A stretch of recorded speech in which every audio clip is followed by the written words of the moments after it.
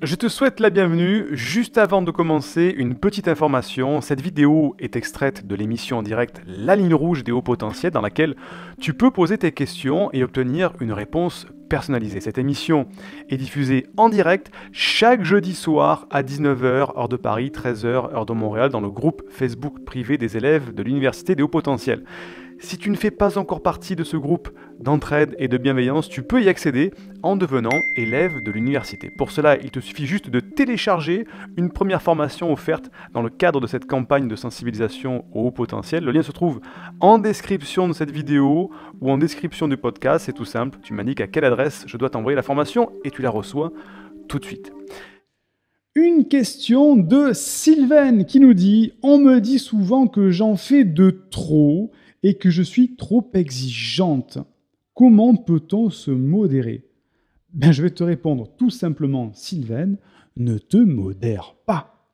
Si toi, ça te pose problème, que tu en fais trop, ça te fatigue, euh, que ça te stresse, effectivement, ça peut devenir un problème pour toi.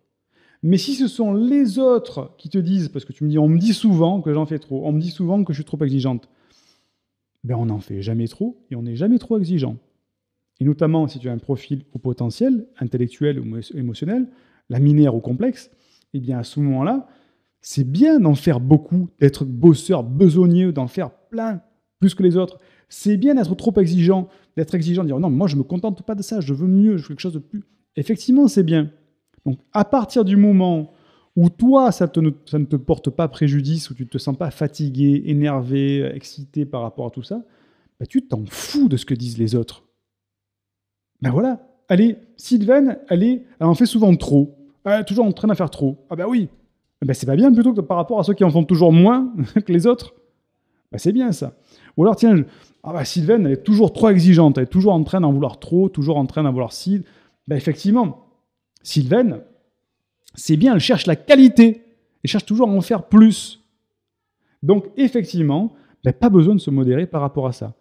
Après, si c'est un effet inverse, que toi tu en souffres, Sylvain, bien effectivement, là, il faut toujours relativiser. Comme je le disais tout à l'heure, c'est se fixer des objectifs réalistes, c'est mieux vaut fait que parfait. Tout ça, ce sont des attitudes de comportement pour effectivement ne pas subir cet excès d'exigence ou ce comportement dans lequel tu en fais trop, dans lequel tu t'épuises. Mais je ne pense pas que ce soit la question là-dessus, Sylvain. Donc, continue à être comme ça tant que tu n'en souffres pas ou que tu ne souffres pas des relations que ça projette. J'espère t'avoir aidé, Sylvain. Indique-moi en description à quelle adresse t'envoyer la formation offerte qui s'intitule Canaliste et pensée envahissante et profite de l'instant présent. Et surtout, partage cette vidéo à une personne de ton entourage que ça pourrait aider. Et n'oublie pas, comme le disait Einstein, la folie c'est de faire toujours la même chose et de s'attendre à un résultat différent. Si tu veux t'épanouir avec la douance, c'est le moment d'utiliser le bon mode d'emploi, celui qui fonctionne avec toi, et de changer pour faire de cette terre un monde meilleur.